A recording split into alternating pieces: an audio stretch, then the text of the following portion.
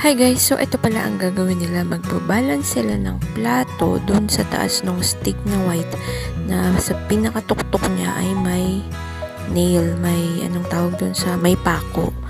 So, ayan sila guys, yan ang kanilang task. Bali, ang mag-pair, si Tiff at si Rob, tas mag-isa ni Maxine, tapos ang pair naman ni Gab, si Paolo, tapos ang pair ni Stephanie ay si Dustin.